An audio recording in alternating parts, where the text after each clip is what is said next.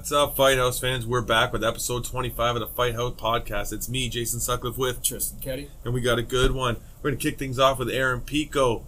He's getting ready to compete at uh, Bellator 183 coming up real soon. Adam Piccolotti, he's also competing on the same card. Looking forward to that conversation. Cool guy, super good conversation.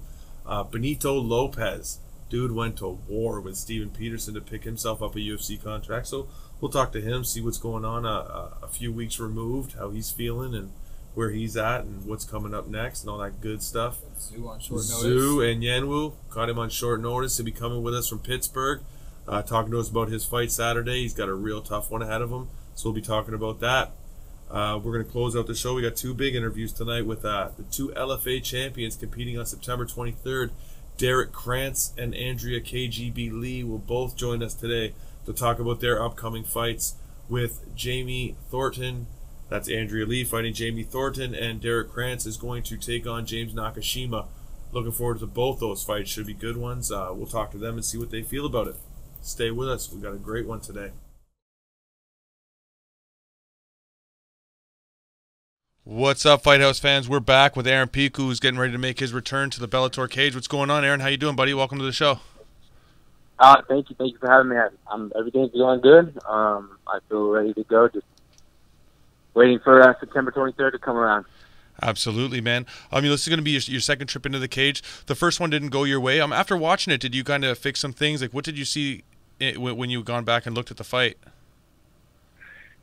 Yeah, just the biggest thing for me was that I didn't uh, that I didn't relax in there. I was uh, I needed more time just to relax. I, I rushed in and got hit with that uppercut Mhm. straight into a into a choke, which he did a good job of uh, securing. But uh, you know, I just need to relax in the more. I have all the skill sets in the world to be a champion, Mhm. but now I just need to relax and get the cage experience. That's the biggest thing. Uh, you can't train train for that. You actually just have to do it. So I need as many fights as I can and get my feet wet, and I'll be ready to go. Definitely, man. I'm really looking forward to this fight. You know, you've changed camps for this one. You're at the body shop now. Um, is that a full time move for you, or is that is that just for this fight? What's this, what happened there? With Antonio, What's that? I'm sorry. Say that a question. Uh, sorry, question sorry. I said you, you had moved up. down to the body shop. Um, from you were at AKA originally, correct? And and you moved to the body shop. Is that a permanent move for you? Uh, I was never at the at AKA. Oh, Um, okay. I was just kind of like going all over the place. Oh, But okay. uh, being at the body shop is perm- permanent. Um, yeah, I love being with Antonio. I love being with the with the guys down there. So it's close to my house, and uh, I, I feel it's going well. It fits really, really good for me, especially Antonio's style. Yeah, definitely. You guys have. And a I've known Antonio since I was six years old, and, and, and AJ. So it's, it's like family. I've known them for for a while, so it's good. How did you meet them? Uh, well, Antonio had like this was years ago. I was only like honestly, uh, I was a kid. Uh, he had a uh, wrestling program out of the body shop, so I would go in there and he had really good practices. So I would be there wrestling with AJ and all the kids there. We'd all get together at the body shop, and Antonio would run the practices. So it was cool. They were always tough. I remember always if you wanted to go get a good workout, you went to the body shop. Definitely, definitely. Well, they got a good uh, they got a, a good group in there. What's it like to work with a guy like AJ that's kind of just a little bit ahead of you in your in your journeys through through the mixed martial arts? Uh, what's it like to have a guy like that there with you? it's great. It's it's cool. It's good to see a guy a guy that's young and able to put it all together. And especially in training, he's able to throw up so many submissions from the bottom, from the top. He's an overall all around fighter that which um, makes you better. That's something that I need to see. The kicks, the just a, to be a good fighter, you need to see that. So very fortunate to have him in the room, uh, showing me everything, and then have his his dad right alongside uh, alongside us, teaching us and guiding us. I mean, I couldn't ask for a better partner. He's obviously going out there and winning, so uh, it's working. Yeah, and, and you know your your your uh, your next fight, talking about what you got coming up now, Justin Linn uh, at Bellator 183. Um, you're making the drop to featherweight. Um, is was that something that you had been considering before the fight with Freeman, or is it just something that came in after you just changed it up? Uh, yeah, I was considering it both, but I think after the fight is when I really decided to go down. Is it because I'm really not that big? I was eating and eating and eating to keep that weight on for the fight. hmm Naturally, my body's really not that big. I'm not a 55 pounder, but after the fight, when I started to just eat normal, uh, my weight was, you know, around 160, 158. So I was like, eh, I'm gonna just go 45. Um, so that's when I really guys that are I'm not I'm not, I'm not ready for 55 yet as far as uh, body wise. There's guys that are six one dropping from you know some serious weight. You Definitely. know, I, I don't really have I have to eat to make the make the weight. So um, that was a big that was a big thing for me. Definitely. Um, so, how disciplined are you going to have to be to make 145, or is that something you think is going to come easily, just an easy cut? Uh, easy cut. To be honest with you, I can make weight right now if I if I needed to. I'm I'm not far out at all. Uh, I watch my weight all the time. I eat the right things. Um, honestly, I don't really even watch my weight. I just eat the right things, and my weight just hovers uh, where I need it to be. So that that's that's good. I try to always eat really good. Just I feel good, especially with all the training that I do. It would be impossible for me to do what I do if I didn't eat right. So Sure. for Clean me, it's, it's pretty easy. Good fuel, right? um, Yeah, exactly. You need it. Yeah, definitely. Um, what advantages do you feel like you're going to have at 145 that you weren't going to be able to enjoy at lightweight when you step in there with these guys, or, or uh, Linn and Linn in particular? Yeah, I think the biggest thing is guys that could be more more my my height. Um, I need to just guys at at at 155 that are just a little bit longer than me, a little bit taller, and not to say I can't beat them. I just need more experience and and, and see more styles like Mhm. that. You know, being around AJ has really opened my eyes to be able to adapt to more more of that style. I need more training, but for the most part, I feel really good at 45. This is this is my weight for a long time. This is where I'll be at for for quite some time. This is um, not a hard cut for me or anything like that, so it's good for me. Uh, you're you're so you- you're um, you're getting ready to step in there. J- Justin Linn's seven and three. He's got a bit more experience than you. Is that something you're worried about? Like like getting in there with these guys with a bit more experience?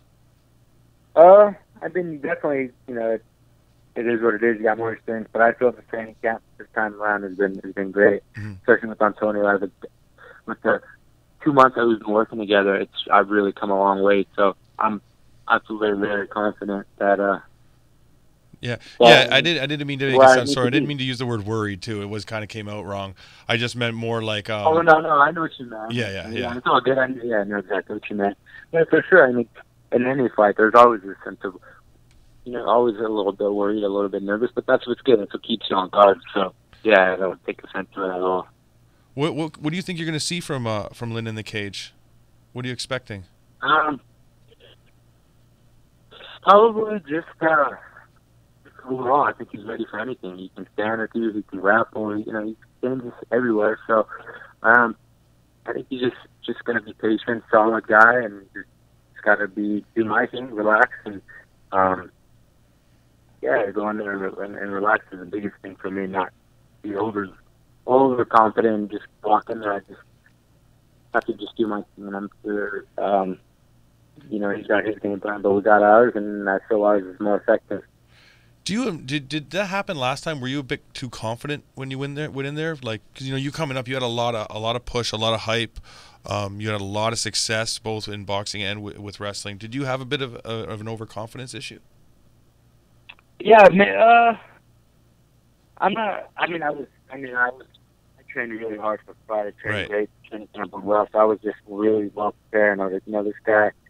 I knew he had, he had weapons, but you know, he woke me up real soon. You know, he landed that punch, and it was like, damn. You know, this fight. This fight is. This fight game is for real. Anything could happen. Even Yep. when you train really, really hard. So I needed to be just more aware. More, more, more. The biggest thing for me is aware. You know, I, I wasn't aware. I was, I mean, I'm so new to the game, so I think it's just coming up with, with awareness. You know, Yeah. it's like it's like it's like a like a little puppy. You know, like they're still learning everything. They're not going to do certain. They're going to do certain things, and then they're going to maybe trip and fall. But you know, next time around, they're going to be like, okay, well, if I step here, I'm going to fall here. So the same thing with MMA. I need to be a little bit more patient, cautious, and um, said, I'm still new to the game, but I'm going to get that that exposure and that uh, ring time that I that I need, and everything will be good. Do you think it's a little tougher for you, given um, like your name coming in? Like most guys would, you know, they quietly get to climb up the undercard, and you know, no one would really, you know, see too too much of them, and then eventually they would work their way to that. But you've come in and you sure, don't I get mean, that, you know. Sorry, go ahead. Yeah, I mean, for sure, it definitely is hard. Um, but I'm in a really good uh, situation as far as my career and um, everything that, I, that I'm doing. I mean, it is definitely hard. Uh, everything that you do, there's people watching every fight. Uh, from now on, everybody's going to be watching, which is a good thing. There's a lot of people that want to be in my situation, so Sure. I need to, uh, you know, I need to. I, I I'm appreciative. You know, as, as we speak right now, there's people working to be in this situation. So, um, I, I'm happy to be in this in this spot, but it just requires a lot of work. I'm okay with that because I don't mind in, I don't mind putting in the work. Definitely, and you've been doing it your whole life pretty well. Um, is there a certain Yeah. freedom that comes with like you know like obviously you didn't want to take the loss. Nobody wants to take the loss, but when like when you're coming in with your hype. And, and like the name that just had that buzz, right? I mean, everyone was waiting for your debut. Yeah. Does it kind of free you a little bit? I mean, the the Like taking the, the like. I y- y- possibly- sorry, go ahead. Oh no, no, no problem. The worst thing that possibly happened in 24 did happen. So, I mean, at the end of the day, nothing. You know, I, I've seen it. I've Right. seen what can happen, and and um, for sure there probably is a little bit. I mean, I thought my first loss out of the way. Some people that comes later in their career, but I know what to expect. So, yeah, for sure, I think this is going to help me in the long run, 100. percent Um, I know you've been working with Freddie Roach. I've seen him. I've been following your Instagram and stuff. Um, he called you his new fight on his Instagram. How much work do you do with, with Freddie? Uh, I was doing a lot of work. Um, now that I'm, I was getting close to the fight, not as much, uh, but I was part of Miguel Cotto's training camp as a sparring partner, so I was there six days a week, and then training with Antonio. So, um, but now as the fight got closer, I was, you know, not as much with Freddie, but I'm with um, with Antonio focusing on the MMA. But I was spending, I do spend a lot of time with Freddie Roach.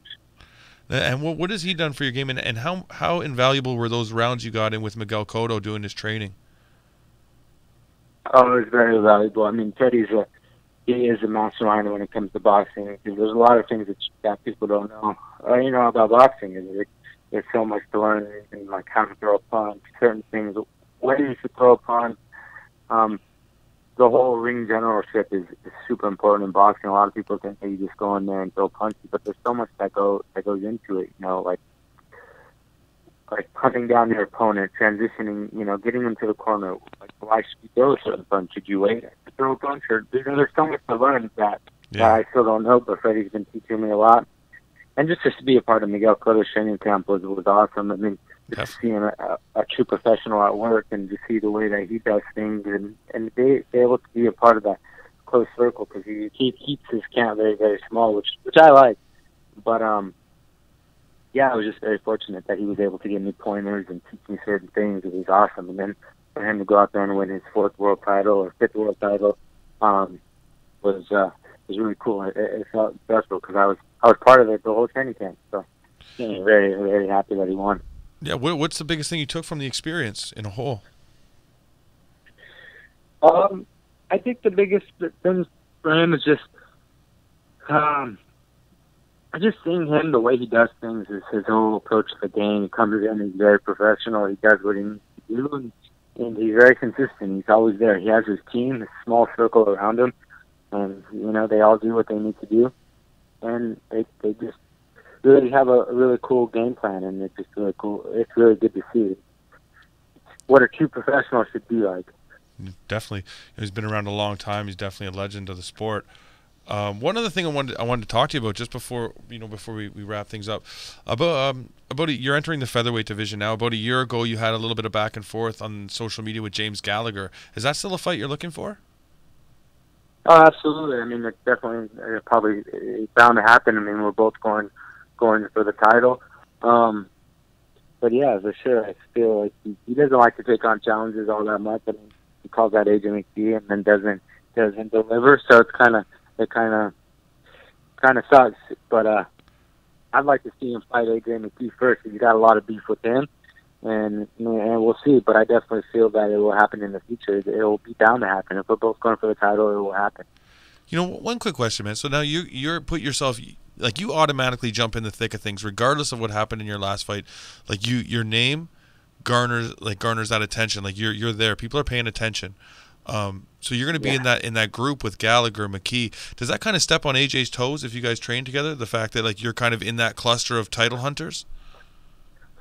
Uh, to be honest, No, not really at all. I mean, we've already made it. You know, we're not we're not fighting each other. Mhm. Um, but we've known each other since kids. You used to be at Yeah. my house. You know, my family and parents. We, it's just at the end of the day. I mean, I I would rather be a friendship over than you know MMA. They're, they're really good people. And him and his dad, I've known them for a while. and They're good people. Um, and this is a business. Everybody, you know, oh, you need to fight this guy. Fight. There's some people that you just don't fight, and, and AJ is one of them. He's a good guy. He's a training partner, and I'm not there to be, you know, like, oh, I'm gonna fight AJ. Just no, we're there to get, we're there to get each other better. And to be honest with you, I've never even, we've never even really talked about it. It's just kind of one of those things when Just when you win the understood. Yeah. title, I mean, I'll be more than, you know what I mean? Um, Yeah. and it's, you know, to be honest with you, I mean, he's pretty big too. I mean, I don't, you know, I don't really know how long he'll be at 45 or 50, or he might be at 55. I'm not, I'm not entirely sure. He's pretty big. He's bigger than me. So Yeah, he's a big we'll guy. have to see when that when when uh, he goes down. Um, All right, man. Look, down that road. But no, we won't be fighting. Hey, man, that's good to hear. I like loyalty. Loyalty over everything, right? That's a. It's definitely a good way to go. Yeah, no, for sure, Yeah, man. for Uh, sure. I mean, it's good. That's why I asked the this- question, you know, because I was curious. Crazy. What's that? I said this business is crazy. Some, I mean, Fair enough. sometimes they like that. They want you to turn so you can so they can sell a fight. But I mean, a friendship. We're from we're from Southern California. and He's from Long Beach. I'm from Whittier. They're right next to each other. I mean, at the end of the day, let's just go take on the world. Fair there's, enough. There's many guys to go pick on rather than us fighting. You know what I mean? Let's just go take on what we need to do, do what we need to do for our careers, and, and have a good time with them. Represent Southern California. I like it. Um, one last question, man.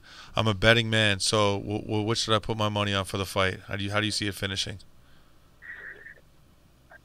man, I, to be honest with you, I feel, I feel, uh, you know, I take my time and do what I need to do. I, I feel I can get it done in two. In two? Pico and yeah, two. You guys heard it here. in. I love it. Uh, thanks a lot for the time, man. I really appreciate it. Uh, I'm glad it could come together. And best of luck in the cage, man. Uh, we'll be rooting for you. I appreciate it. Thank you. Look forward to talking to you in the future. Thank you. All right, man. Take care. All right, all the best. Bye bye. Thank you. Bye.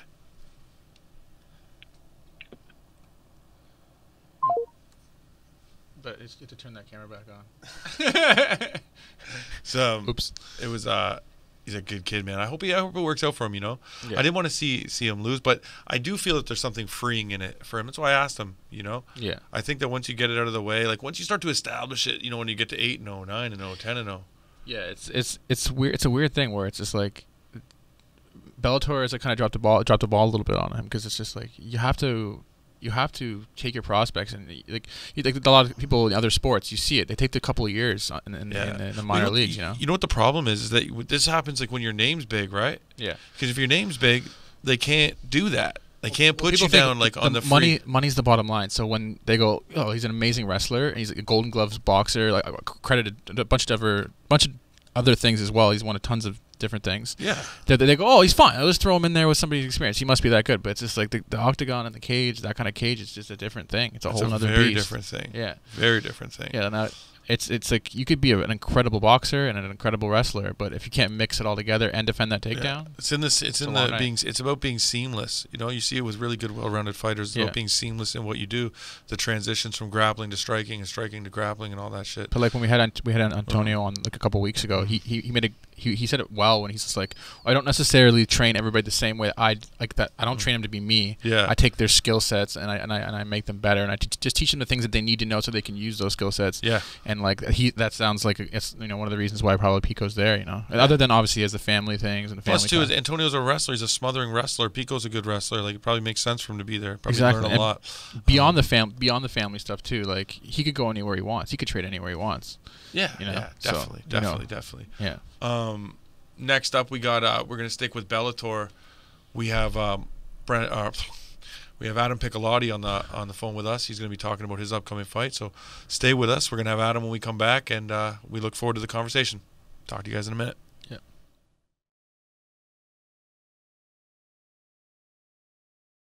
Fight House fans, we're back with Adam Piccolotti, who's getting ready to take on Yam Yamauchi at uh, Bellator 183. What's going on, Adam? Welcome to the show, bud. Oh, thanks, man. Appreciate it. Uh, happy to be back again. Yeah, man. Yeah, it's been a while since you've been in the cage. You had a little issue with an injury.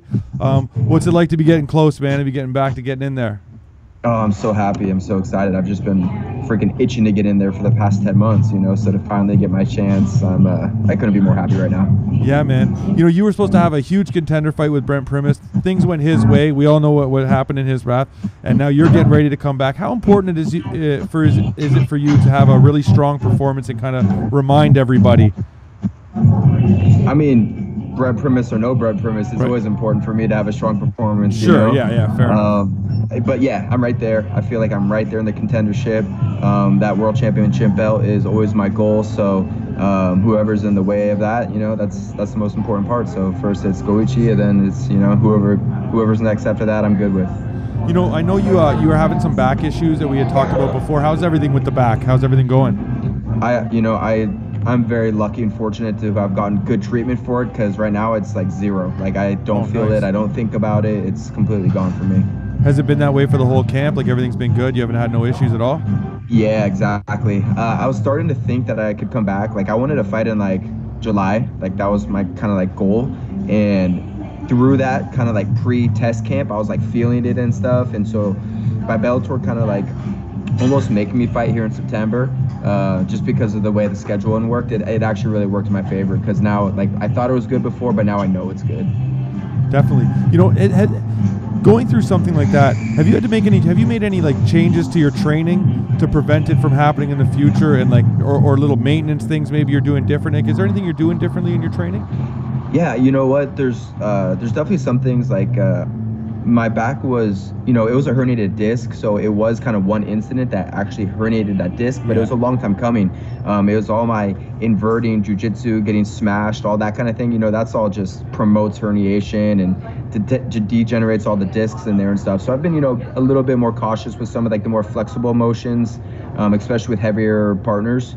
Um, but yeah, even more on top of that, I've been working with this super amazing uh, strength conditioning coach. His name's Mike Salemi, and he's been covering like my durability and my diet aspects of things. So I've been incorporating Aldoas. I don't know if you guys have heard of those. No, I have not. Um, it's kind of like to break down super simply. It's like a yoga pose, okay. but they are like really specified. You move your body, put it in a certain position, and it it's meant to stretch out the fascia, like the fascial lines through your body. Yeah. And it's like super specific. So like there's a really um, effective one for me for the L5S1, and that's one that I've been focusing on a bunch because that's the disc that I herniated. But also using it to apply all over, I've like felt my neck strength increase, my neck health increase because my neck's always been a problem area for me as well. So um, kind of incorporating those mixed in with like a super healthy diet, you know, in taking a bunch of like collagen and and good um, you know binding agents, things like that. It's been uh, I think it's been really effective. I feel stronger and more durable than ever.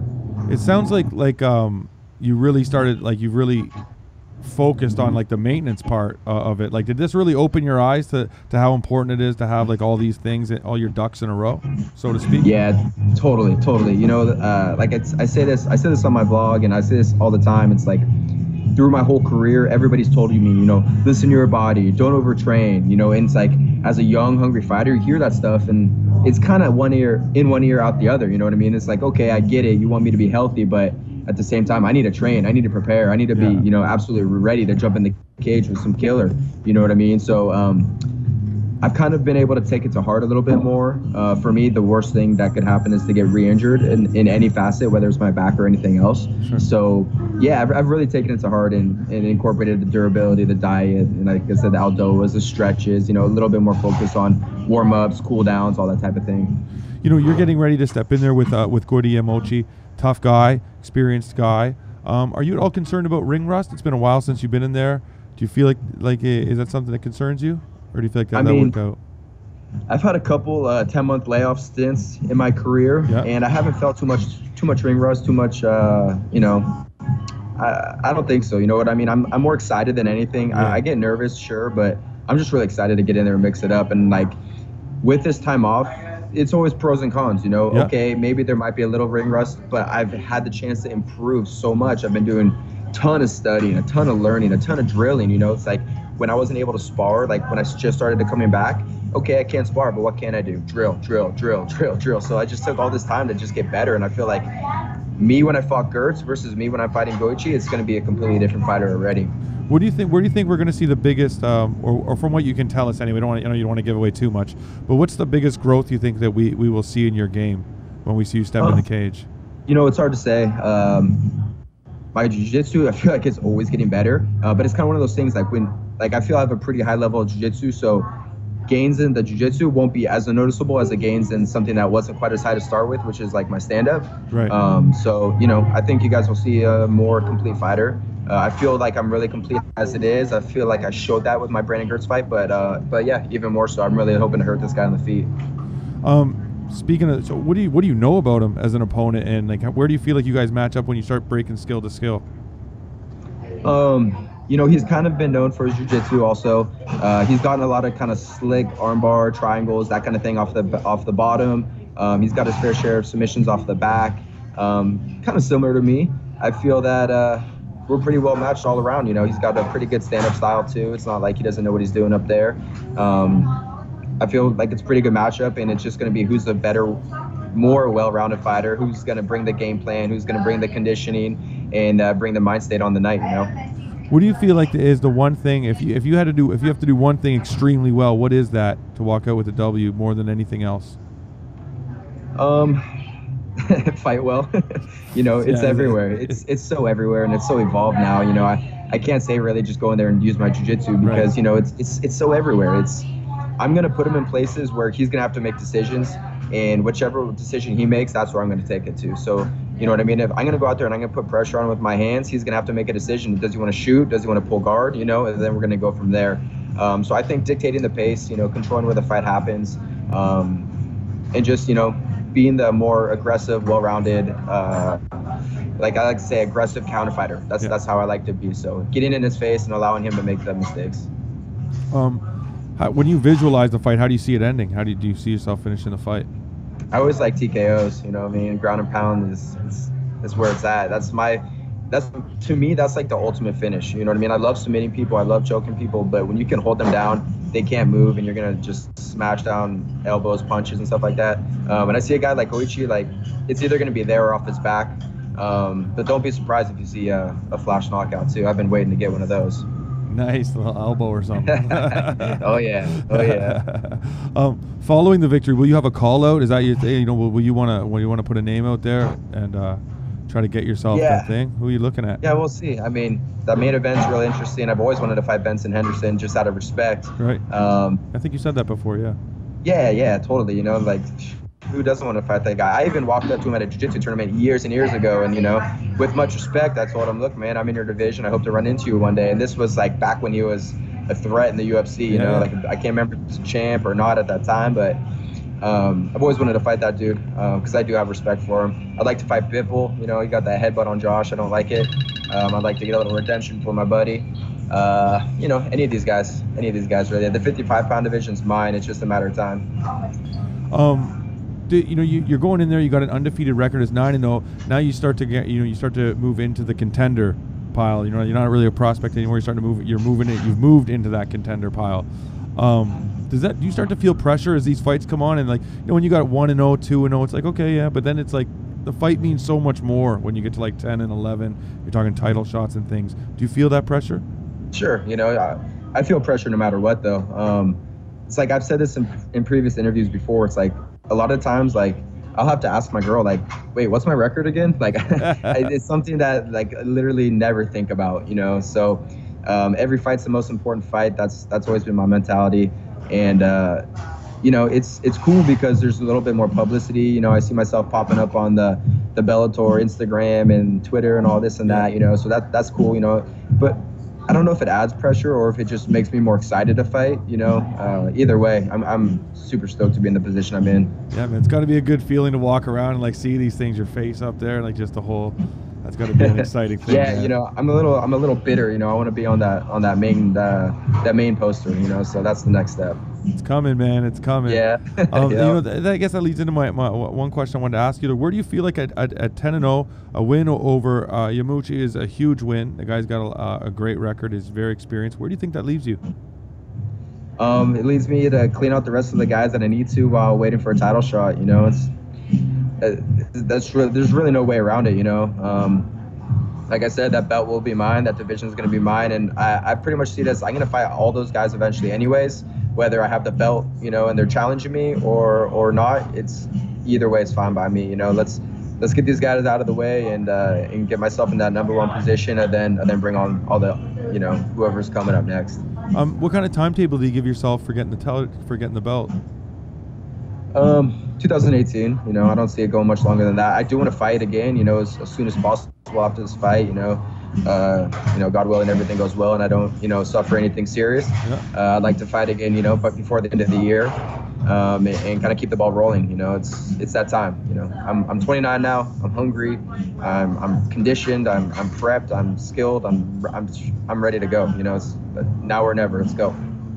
You know, um, one thing I noticed too, besides fighting, you've gotten into vlogging, man. You become quite the vlogger. You got the self-defense videos going up. You're doing your thing.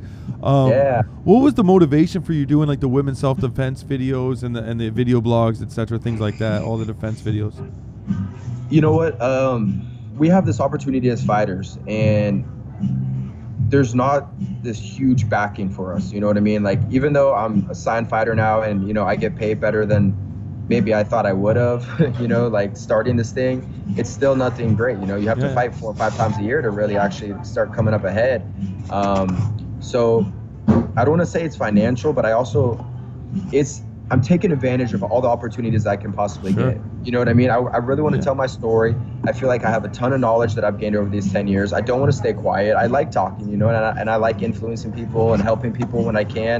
Um, so I feel that I, I'm a, a good teacher. You know, I like to teach, and so that's where the technical Tuesdays come from. You know, Yeah. I like to share what share what I know, They're and you know, see what people think about it and stuff. Thank you, man. Thank you. And then and then the vlog. You know, I like I like I like watching vlogs myself, Yeah. and so I, there's really no nobody out there in the MMA world that's doing their own. You know, there's like the embedded stuff like that, but you know, I'm trying to really just set myself a, a, aside from the sheep. You know what I mean? I'm gonna be the wolf. I don't want to. I don't want to follow the, the crowd. I want to do my own thing and um, and set the bar for other people to follow. All right, man. Listen, before I let you go, take a minute, man. Plug your stuff. Go, go at it. You got a whole bunch of stuff that's going on, man. Get it done.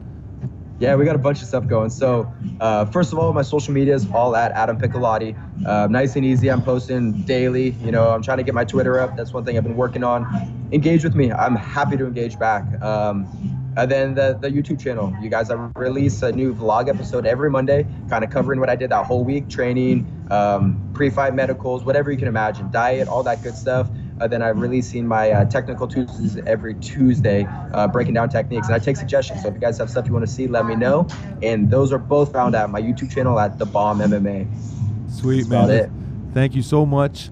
Uh, everyone, tune in. You know, uh, September 23rd, he's going to take on Goiti Yamauchi. Uh, Bellator 183. Best of luck. Thank you so much for the time. I really appreciate it. You're always available, man. Thank you so much.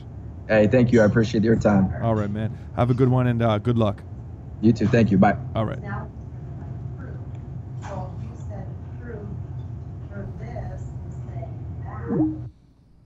It's a good card, man. 183 is a really good card. Yeah, it is coming up, man. It's going to be a good one. Yeah. I'm uh, I'm, I'm I like to see him get back in there, but I really want to see Primus and him go at it, man. Yeah. I wanted so that close. fight They- they- so bad. They dropped. He dropped out because of the inner, in, injury, right? He has back injury, yeah. Yeah. yeah. It So was like, but I mean, I, oh man, I wanted. To, it was so. You know, I it could have been him, man. I love any time you get two undefeated prospects Yeah. that are just going, and it's like one he's going, one he's not. You Yeah, know, we're gonna yeah. fiend out what this is. I think Chan- Chandler's knee was going to go that night. I don't. I don't. I don't want to take it away from. Actually, you know what? Pre- Primus. He might have. He might have done the damage in the fight, but at the end of the day, it's like he, he, it could have been him. You know, it, that must get. It must eat at him a bit. That's why I, I asked him. Like, I didn't want to get too into it because I don't think you know bringing it up repeatedly, right? Like, Yeah. oh, this happened to you, this happened to Uh, you. yeah, you have to a- you have to ask it, but it's like you don't want to dig at it. You know, he's Mhm. got so much other stuff going on. It's like you could ask him, you know, a million other things, right? Yeah. So, you know, um, speaking of prospects, another undefeated prospect, uh, we're going to have Benito Lopez on the show. Guy had a crazy fight with Steven Peterson. Yeah. Um, I think it was a week, week seven, I'm pretty sure. Um, great fight. The great fight. They went to war. Um, we're going to have him on. We're going to talk about that. We're going to talk about what's up next, uh, how he's feeling, you know, everything, everything like that. So we got lots of stuff to talk about. Stay with us. We'll be back with Benito Lopez.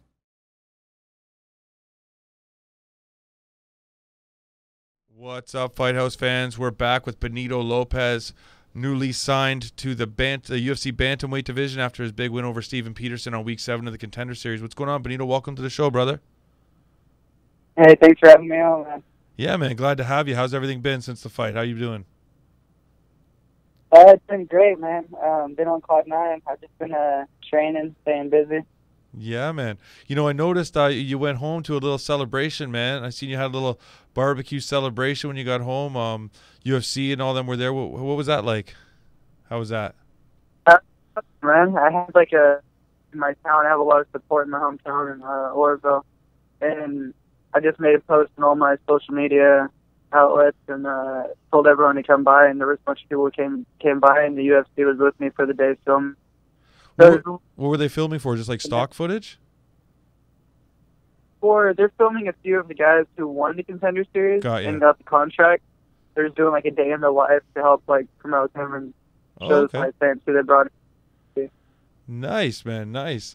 Um, speaking of the fight, it was an absolute war, man. You definitely didn't take uh the easy way into the into the UFC. That's for sure.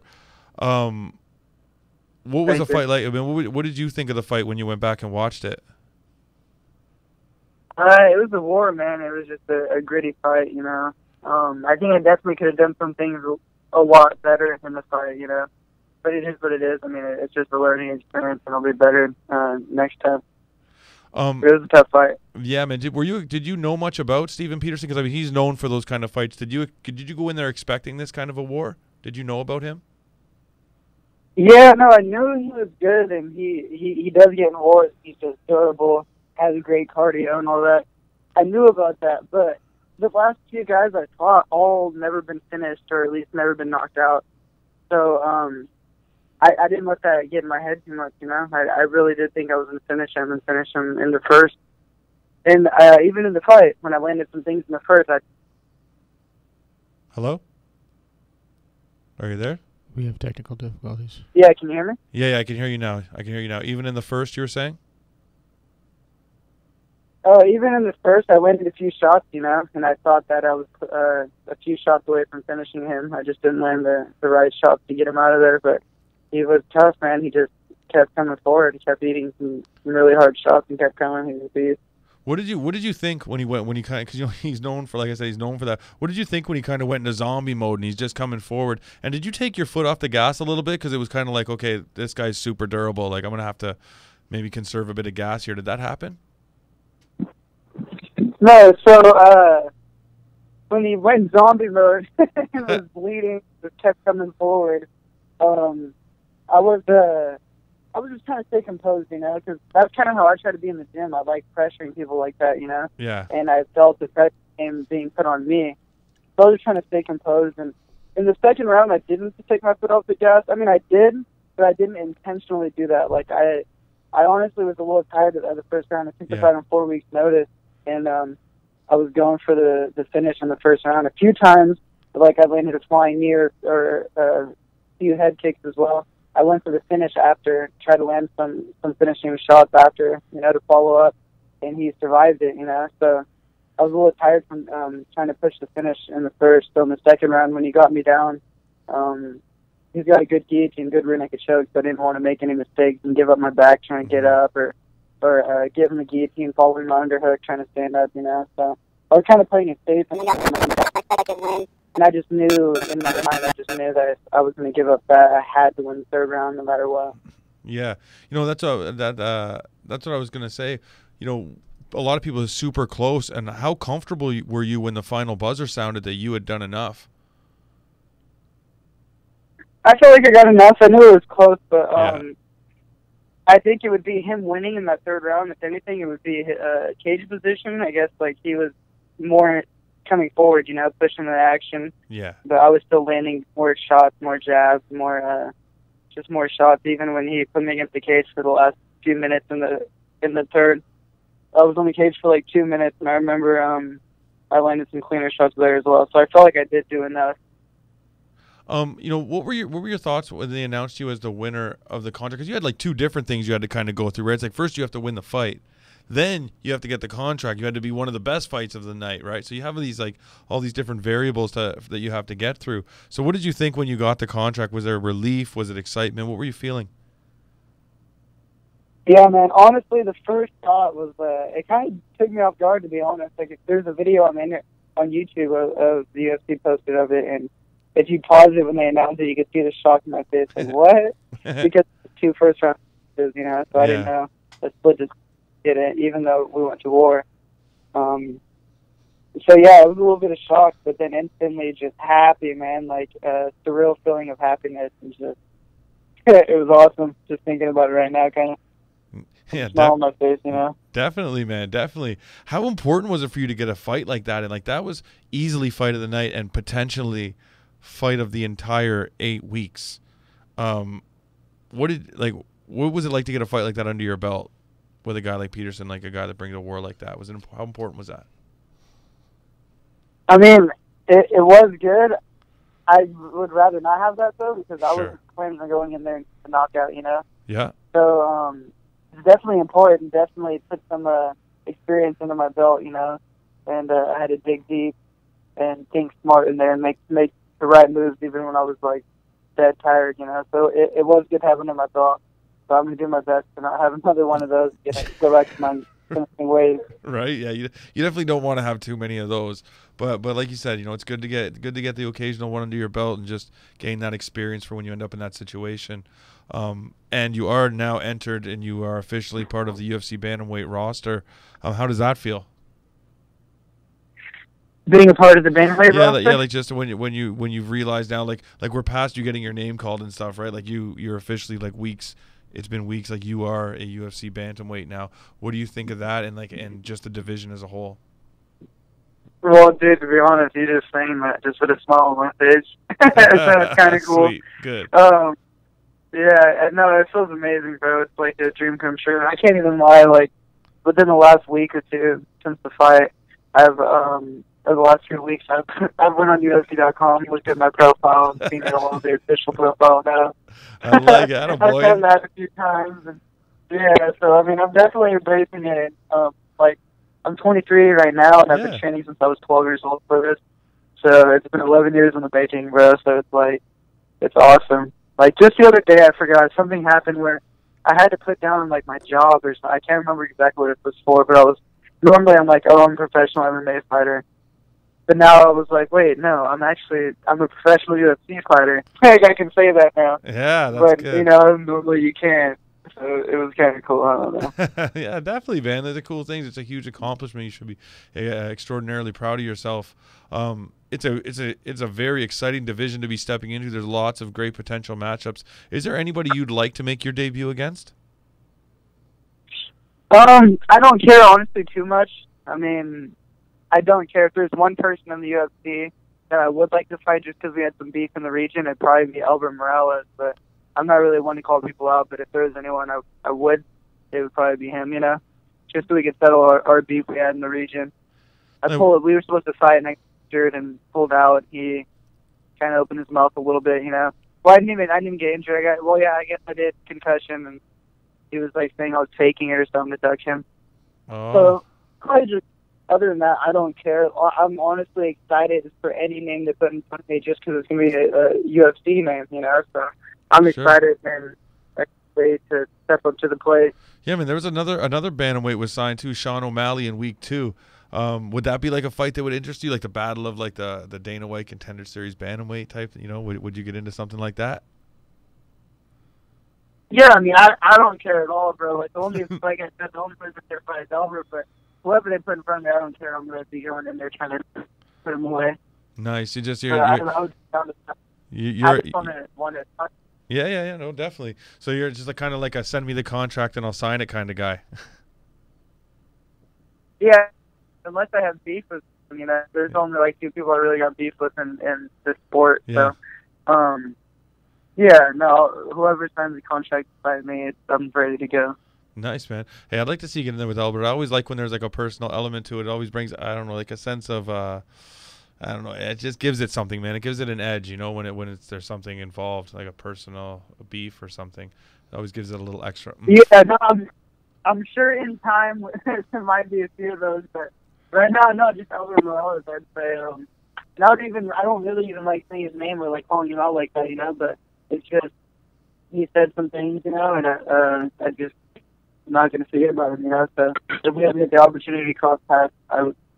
I'd be happy to do it. You know, I'm confident in the matchup. Nice, nice, man.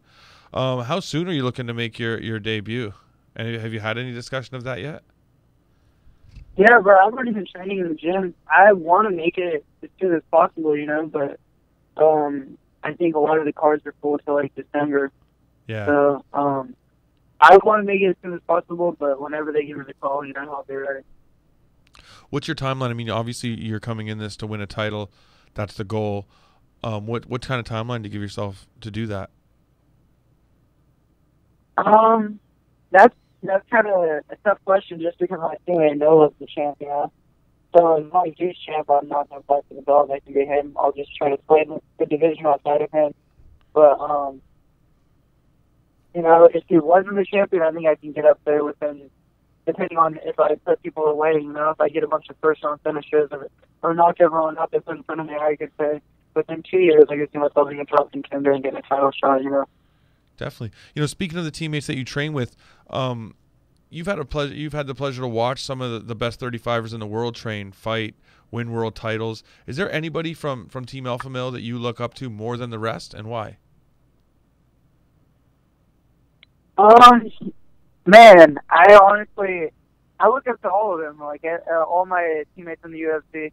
Um, it's obviously, especially the guys in the UFC, a little more because they've made it to the top level. Right. But uh, honestly, just my team as a whole, man, like they inspire me. I was always a guy where, um, when I outside of fights, I'd, I'd like blow up, get heavy, um, get super out of shape, not be back in the gym for months, you know, until I scheduled another fight. Yeah. And um, they see them every day. They all train all year round. Like they'll all they'll fight and then they'll be in the gym that the next week training So Like Cynthia, Alex Sandoval, like all of them, dude. Like literally all of them. But I mean, those people like really changed me because those two are the ones who like got on me and were like, "Hey, you need to take this more serious." And I was talented, but you're just over here, you know, wasting your time unless you put put everything into it.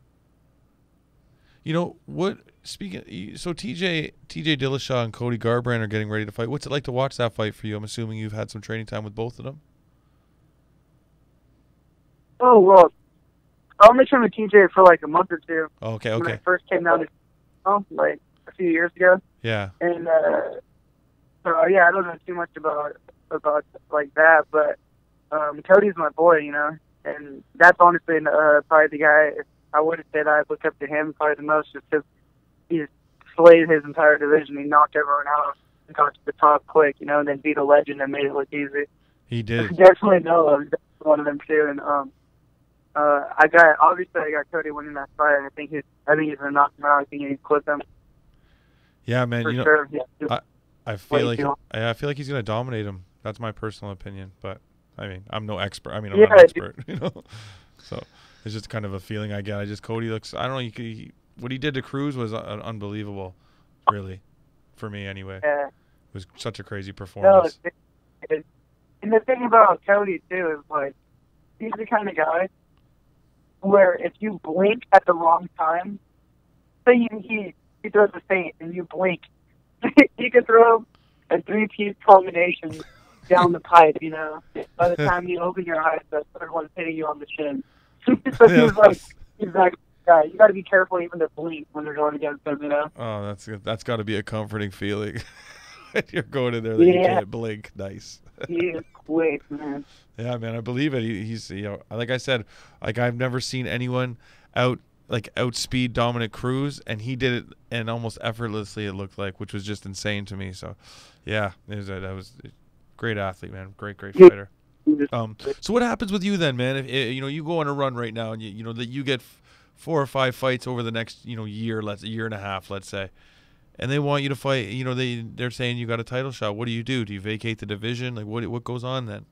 Is that a conversation you have to have then? How do you work it? What do you mean? Like, Well, well, well Cody, I'm saying Cody's the champ, and you're saying he's your boy. So you you kind of enter the division, and like I'm saying, if you run off four or five fights in the next, you know, 16 to 18 months, and you you start getting into like, oh, I'm in a title shot co- or, or conversation or something in the next two years, and Cody's still the champ, what happens there? Well, then I would probably just like I said before, I would probably just try to play the division outside of that, or Yeah, if I'm a big enough, try to get some more money fights. You know, I've always I wanted to be a champion since I was a little kid. Yeah. You know, and uh, I'm a few years younger than Cody, so I don't know. When he's champion, I'm I'm not gonna face him. He's like a big brother to me, you know. So I don't care for that, but um, but he's not champion, obviously, fight soon as possible for the belt if that was the case. Yeah. But I think he is going to be champion for a long time because he, he's a bad dude. So Um, you always giggle when you say that, man. It's like you know something nobody else knows. You're like, he's a bad dude. And There's this little like giggle to your voice. It's like I feel like you've seen yeah, things in the gym. not a lot of people didn't know how bad dude he is. You know, and he's a I think he's going to be champion for a long time, which I don't mind. He's like a big brother to me, and a lot of the opportunities I have in this sport uh, at this level have been because of him. You know, you guys like your guys, but no, he's the man. Um, I don't know. Maybe move up, maybe move down. I don't know. Nice, man. I'll probably definitely be fights if that's the case, and I'll try to. I always try to be uh, one of the most exciting fighters on the card. So Yeah, man. Listen, hopefully, it'll be a draw. I really look forward to seeing your debut, man. I think you got a bright, bright future. Uh, and I want to thank you for your time, man. I really appreciate you giving us some of it. Uh, I know it's valuable, so thank you very much, and uh, I wish you all the best, brother. No problem, man. Thanks for having me on. I really appreciate it. Yeah, hundred percent, man. Maybe we Yeah. can have, ho- hopefully we can have you back when you're getting ready to fight. Yeah, sounds good. Just hit me up. All right, sweet man. Enjoy the rest of the night, brother. Have a great one.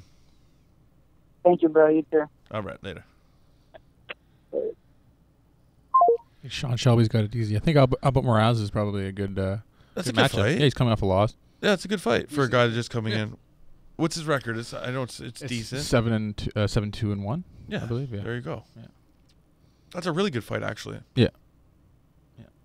Yeah. You know what I think? I think um, he's the.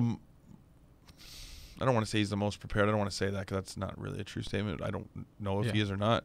But going through the fight he went through with Peterson, like Yeah. it solidifies with me that you're you're where you're supposed to be. Like you're good. You know what I'm saying? Yeah. Like Yeah, like like I said, like you know I've watched the fight a couple times. Like I could see I see two one for Peterson, but I'm not angry. You know what I mean at the decision. Like Yeah. it could have gone either way. I'm not And saying when, I'm when right. Peterson just continues to walk forward, you know what I mean? It can change. It's, it's like if you're hitting him, but he's backing you down and he controls the center of the octagon. Yeah. It's a weird thing with the judges; they get confused. Yeah, listen, it's so close that like I like I said, like someone someone says, "Oh, Benito Lopez won," I'm like, yeah, okay, Yeah. yeah, okay, I, not- I, I can see that. One I- thing for sure, they're not handing out draws at the Dana White Contender Series. No, no, no, no, no, no. and and like I said, like I could see it, right? Like I could see someone saying he won. It's not like it was like one side. It's like no, Yeah. it was Robert. Like not even close. It was it was like razor close. It just depends what side you.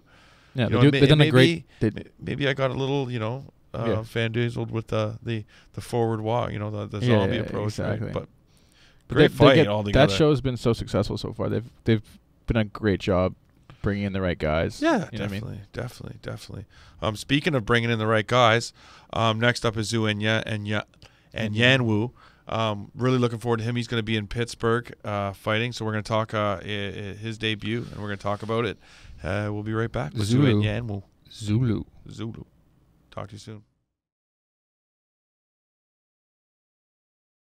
What's up, Fight House fans? We're back with Zu Anyanwu, who's getting ready to take on Justin Ledet this Saturday at UFC Fight Night 116. What's going on, Zu? Welcome to the show, brother. Welcome back. Thanks for coming. What's up, man? Yeah, I'm here. You know. Yes, yes, yes. How's everything been, man? Been a roller coaster recently. Um, everything, be, everything been good, man. Um, you know, got got a call. Yeah. Six, you know, six days notice on Saturday. Hey, you wanna you wanna take this fight next week? And I'm like, uh, I guess I have to. Fair enough, man. Fair Can't enough. say no. what uh, what's uh, what what what, uh, what kind of shape are you in? Were you really active after the fight with Rebello? Um, I know heavyweight man. There's not Um, you know you don't have to necessarily hit a weight, right? So he get gets to eating. you know, I, I, I'm not in the shape I want to be in. Yeah. You know, but uh, you know, but you, you can't say no to opportunity. When the opportunity comes, you gotta kick the you know kick the bitch down. Yeah, yeah. You know. Fair enough. So, uh, well, I like a full fight, Cam, but you know, we gotta do what we gotta do. Fair enough. Um, you know, things that put in motion when you knocked out Greg Rebello. What did you think of your performance against Rebello as a whole?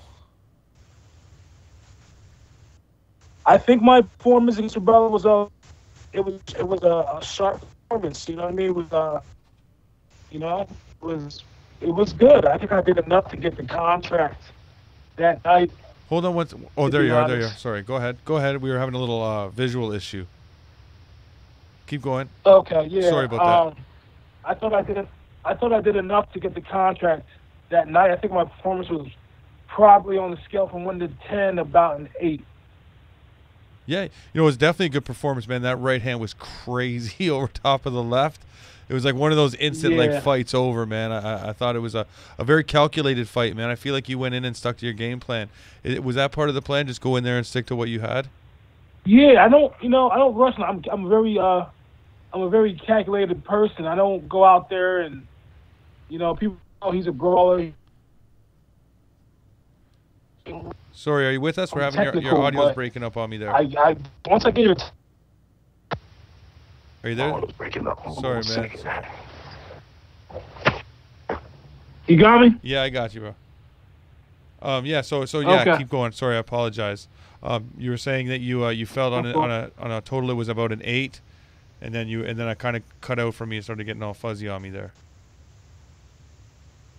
Yeah, so I said my performance was like about an eight. Yeah. Okay. And uh, you know, it was calculated performance. It was sharp. Uh, I didn't rush anything. You know, because he's a he's a deadly striker himself. Sure, very But powerful. you know, it's like once I get your timing down, you're done, basically. You know. You know, you, you were able to knock him out in the second round. When you scored the TKO, how did you feel about your possibility of getting the UFC shot? Did you feel like it was in the bag when the minute the fight ended? Uh, I didn't feel like it was in the bag. Yeah. because I just know, yeah, you know, I, I I've been promised things before. You know what I mean? yeah, yeah. So to be honest, with you, I didn't feel like it was in the bag. It wasn't a surprise to me they didn't pick me. It's just I knew I don't know. You know how those guys are, you know. Uh I didn't know it was I didn't think it was in the bag. You know, I was when they when I picked when they said pick they, they were gonna pick two people, then I was like, okay, maybe maybe beats me. You know? But I can't hate on the other guys that got picked. They're they're good they were good too. For sure, for You know? sure. Um, what what were your thoughts when he when you when you were passed on? Like, what were your you know the moments after you you know you're not one of the guys picked? What are your thoughts going through your head? You've had this performance; it's an incredible performance. What are my what are, what are my thoughts? I can't even say it on here. Fair enough. Anger, I imagine. Man, there was, you know, there was a, there was there was a lot of things, man. I was going through my mind. It was a it was a quiet shuttle ride home to the hotel. yeah. Say it like that. It was it was like we won, but we didn't win. So Uh, yeah, I can hear. it was cool. the team. The team that was with me was was real quiet, you know. Yeah. So um, it was like I got messages, a lot of inbox emails like, like "Hey, you you you you you could guess as good as mine." You know what I mean? Like I don't know what's going on. And I'm watching the contender sit after week, I mean, and damn, like seeing the people are getting. Then they picked the heavyweight for the last week, and I was like, damn, you know, like. Yeah. like, you know, all of a sudden the heavyweights down low. I don't think he had a better performance than me. I mean, I mean, can't hate he got picked. He, he was good, you know, but it was just one of them things. Like, damn, you know, like that's when I was really like, shit, I'm not getting picked up. you know what I mean? Yeah, I was about to say, like, did you have that moment where you're kind of sitting there and you're like, okay, I just had this great performance. It it, it doesn't get much better, you know, and I got passed on. Like, like I- it's done for me. Like, I beat somebody. I, yeah, I beat. You know, I, I, I knocked out a dude with 30 fights. I'm like, what else I got to do? You know, that that's times like that was twice in front of Dana. You know, so I'm like, damn, what else I got to do? Like, you know, Yeah. Snoop Dogg came up to me and was like, what do you got to do? I'm like, I don't know. You know, I, and I So- noticed on social media your frustration because I follow you on all social media, man. And um, I seen your frustration. You were watching that uh, Allen Allen Crowder fight.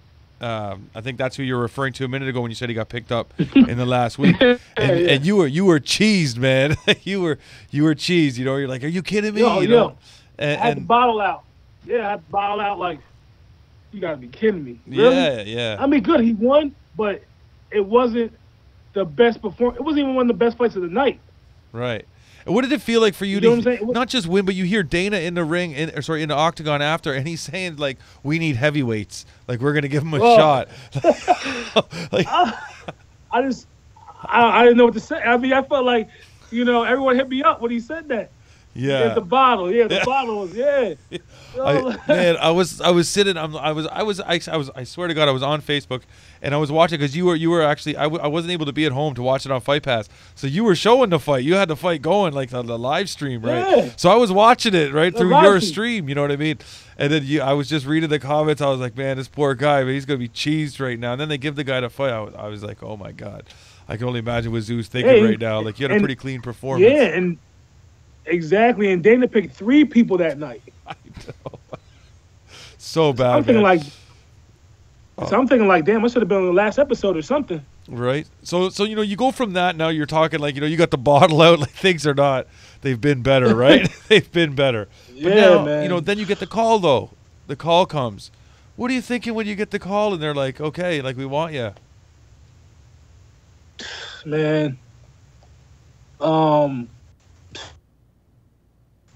I have to say, he was like, you know, basically, you know, I get the call and um, I get the call from uh, what's it called, Haydak, and then and then you know Haydak, you know, conspires with my manager, you know, basically. And I don't know if the stuff's getting done, you know, I don't know. I don't, I don't. Until it's 100 percent on paper, I really don't go into things anymore until I see the contract Yeah yeah and it's sent back with an email from UFC. Congratulations, you're in the UFC. Fair enough. So, you know, when when you know my man Haydak, he's a CFFC president. yeah Okay, so he so you got to touch contact with my manager, and uh, they got it done, and and here we are today. You know, so okay, so I'm like, okay, it's it, it's going down. So then I tell my coach this, and they're like, what? Like they couldn't, my team couldn't believe it. They're like, I said, I still don't believe it. Like, I'm, I'm up here, I'm not even really. I'm like, okay, it's, you know, it's about time kind of thing. You know what I mean? yeah But it's gonna, it's gonna hit me. It's gonna hit me, but I don't know when it's gonna hit me. fair enough man. Um you know you're you're going in there you drew you drew a fairly tough opponent Justin Ledet undefeated eight and zero. Yeah, Um yeah. what do you know about him in this short time and- how do you feel like you match up with what you've seen? Um, Justin Ledet, you know, I, I was on him before. He's Okay. he's solid. Like I told like people when they mentioned the name at first, I was like, that's a that's a tough that's a tough fight for a one week camp. Sure. I said that's a that's a that's a solid fight. I keep it real. Um, he's he's good. You know what I mean? Um, you know he's he's solid, but I can I can bang with the best of them. You know, you know I, I spar with pro boxers all the time in camps. You know, are you know six foot three. Are six foot three. Yeah. Sorry, you broke up on me there. You spar with boxers who are six foot three. Yeah, six foot four, six foot three. Yeah. And uh, can you hear me now? Yeah, I can hear you. I can hear you. So um, okay. So um, yeah, first thing I saw thought about him was like, oh, that's Justin Ledet. First thing I thought was uh, you know, jab. He's a real nice jab, you know. So um, it, it's gonna be it's gonna be a good matchup, man. Like I got a lot of heart though, you know. So it's a good it's a good matchup. It's a good it's a good matchup. Where do you where do you feel like your advantages are in the fight? My advantages, my advantages. I just I got a lot of experience. I got 18 fights. Right. So yeah. So as I was saying, how do you see yourself winning this fight? Uh, I don't know. Can, this fight can end in you know uh, in a knockout submission. It's probably gonna end. It's gonna end. It's gonna. This fight's gonna end on next week. Definitely. Um, are you looking for the knockout? I, I assume like what you, because you go out and you have that feel out process, like the first round. Um, do you think that's going to benefit you with the short camp? The fact that you don't have like a like a, like you don't necessarily go out there and just go right for the gusto, but you kind of have that that very calculated feel out process, cardio wise. Do you think that'll benefit you? Yeah. Yeah, man. I mean, I'm a, I'm a patient guy. I mean, the fight when I fight, it just it just comes to me. I don't know what it is. It just comes to me. You know, the the game it comes so natural to me. Just like I've seen everything but Jesus. So I'm not, you know, he's a he's a stud. Don't get me wrong, he's a stud. But um, um, I'm not I'm not worried. And I would like a full camp. Get everything you want. Like this ain't, you know, this ain't Burger King. You can't have your way. true, true, true. It is not Burger King. Um, you know, you're going to get in there, man. You're 35, 35, correct? Uh, 36. About 36, oh. I just turned 36. I just turned. Oh, okay, okay. Well, happy belated.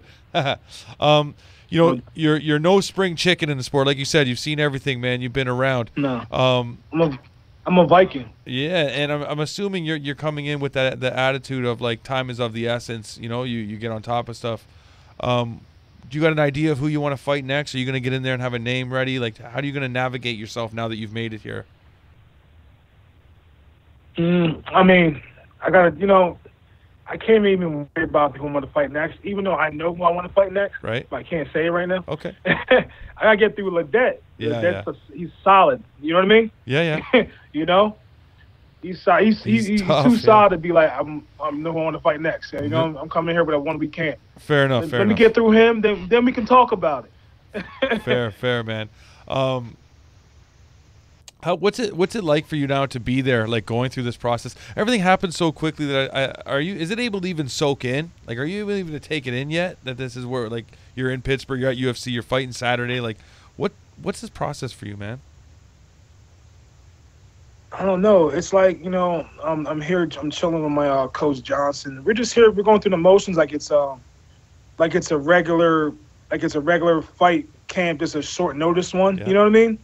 Like like we're in a camp, but we're just in a, in a short enough time fight camp, and uh, we're just going through the. You know, we're recovering and and training. You know, two times a day at, at the hotel. So while people are probably just right now taking the light recovering, we're trying to open up the lungs right now. You know what I mean? Fair, yeah. and uh and um you know and you're seeing all the other it's like damn this is where i should this is where i should have been years ago you know what i mean Yeah, yeah, yeah. uh It's been a long you know just like damn this is where i should have been the staff was happy for me like they remember me from contender series or like yo we knew you were gonna be back you know what i mean Yeah, yeah. so it was all good it was all good to see them kind of too you know and you see like the major fighters walking around like the hector lombards the the david branches the luke rockholds you know what i mean it's like oh shit you know it's, it's, it's good it's good feeling man But you're that guy too, man. Like, you know what I mean? They, like you start Yeah, talking to David like- Branch, like that, those guys just made it too. Like David Branch on, specifically, but you're that guy too now, man. Like you're a UFC fighter, you know? yeah yeah yeah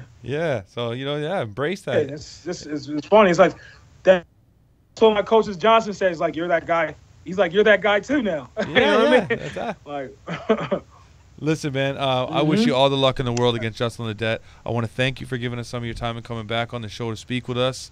Um, I'll be rooting for you, man, and uh, best of luck in the cage, brother.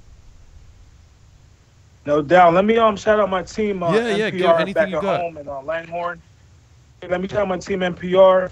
Um, my people's uh, Bensalem, Bucks County, um, uh, Nigeria, of course. Um, my sponsors, uh, Scruples, always holding me down, and uh, everybody else is supported. Tune in, FS1. We're on the main card. First fight in the UFC. Yes. It's gonna be a banger. a boy, man. You know what? I look forward to it, man. And, and like I said, best of luck and, and thank you. Hopefully, we can talk again after the fight. No doubt. Be on again. Cool. Thanks, brother. Talk to you Peace. soon. I was just thinking, like, about Dana and him not selecting him. It's just, do you think Dana's smart? sm- uh, uh, Not just Dana, but do you think they're thinking, you know, the heavyweight division is so thin that we not we're not going to give a selection to a heavyweight because w- we know we can just call this guy up whenever we need it. You know what I mean? Whereas in like the other divisions, you know, you kind of need to bring these guys along. Whereas in the heavyweight, I mean, the, Well, the fight ends yeah, pretty I- quickly usually. I think you need, especially in the heavyweight division, because it's so thin, and you need to have guys that you can Yeah. call on, you know? And I think that he just, I think what happened is he didn't get picked, but he ended up at the top of a very short list. Exactly. Yeah. Do you know what I mean? Yeah, like if I was an evil businessman, which Yeah. I'm not, but if I was an evil businessman, I'd be like, no, there's no point. Like I could call Zulu, you know, I could call Zulu t- tomorrow, Yeah. and he's going to be down. Just like he said. You Yeah. Know? You know, I hate to be that guy, but I feel like that's probably what happened. Of course, that's what happened. Yeah. you know, it's true. It's that's the- how it is. I think that they, you know, if it's like if I sign you, I can't f- push you into this like week notice fight. Yeah. You know, I got to give you like some sort of a camp, six weeks, whatever. You know, four weeks, whatever it is. You know what I mean? Mhm. But it's like I put you on this other list, and it's like when we need you, we call you. You know, and be ready. Yeah. He's just fortunate he's a heavyweight, right? So you know he's not uh he's not forced to try to di- crazy dieting or anything in like this week or doing anything Yeah. nuts. You know, Exactly. um, a la Chris Weidman, 32 pounds in like two days for Demian Maia. Yeah, no. Sometimes I wonder like how, how much that affects him, but yeah, for sure. I, I can't. I'm excited for this card. It's gonna be good. It's gonna be a great card. Good, Yeah. I really look forward to this fight, man. I love. I, you know the. It's always when you see heavyweights and you know that they bang, you're like, yes, Yeah. you know, yes. I have to have the two screens. You have to watch the Canelo Triple G fight and then the, the UFC fight at the same time. Oh, it's kind of a mistake probably, but whatever. Canelo, Canelo triple. Put them on at the same time. That's such a good fight. Yeah. I'm not really trying to cross over into boxing right now, But, but man, that's a good fight. yeah, I think they're gonna have a hard time. There's gonna be a lot of people watching that over. It's good. I mean, David Branch Rockhold is like an amazing fight. Branch has a like has a handful, but he's also he's, They he's know amazing. that. Yeah. They know GS that. when GSP predicts somebody to win, he says it when he said David Branch is going to win the fight. When he says that, you know, it's like I don't know. I've never seen GSP. He's always right. He's like a fortune teller. So uh, very I don't. I don't see how he's gonna. Maybe he'd have to grind it out. Maybe, but I, Rockhold's just so damn good.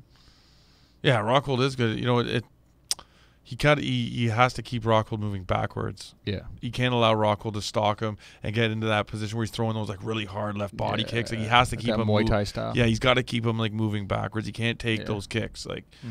and that's when Rockhold's lethal. Where he starts walking forward and you know, and Branch is really good on the ground too. So I don't know, but Luke trains with killers. It's tough. Yeah. That's, good. that's what I'm saying. It's a great fight. It's just Good fight. overshadowed by the the boxing We'll match, see. unfortunately. Yeah, it is unfortunate, but good card. You know, like I said, it'll, it'll be on the. If I'm telling the truth, like it, it might be on the smaller of the two TVs, but it'll be on a TV. That's the point. That's We're the main both thing, sure. right? Um, listen, we're gonna be back. We got Derrick Krantz, um, LFA welterweight champion, and uh, he's got a big fight coming up against James Nakashima. Looking forward to that. Uh, we're gonna talk to him. We're gonna see what's going on, uh, see what his preparations have been like, and where his head's at. So stay with us. We're gonna be right back. Derrick Krantz. What's up, Fight House fans? We're back with LFA welterweight champion Derrick Krantz. Uh, he's getting ready to take on James Nakashima coming up at LFA 23. What's going on? Welcome to the show, Derrick. Thanks for coming back, brother. Hello. Yes, Hey, what's going on, Derrick? Thanks for coming back to the show, man. Welcome. no problem, man. I appreciate. Uh, thanks for having me. Yeah, man, 100%. We love having you on the show. How's everything been, man? How's training for this fight with Nakashima? How's everything been going?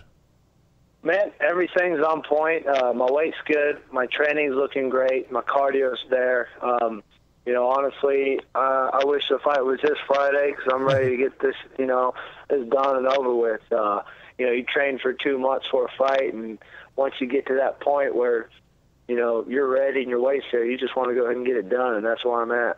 Absolutely. And I know I know you're not a fan of the weight cut, man. We talked about that before. You're, you're a big fan of pizza and Whataburger. Um, I am. you you had said to us before that sometimes like that's the hard part is the weight cut and, and things like that. How's everything been that far? Uh, so uh, sorry, as far as that goes, how's everything been? Man, honestly, uh, I I want I want to say this weight cut for this fight so far has been easier than my last two. Okay. Um, I don't know if it's because I'm training for five five minute rounds or what, but uh, you know my weight's looking really good right now, so I'm I'm happy.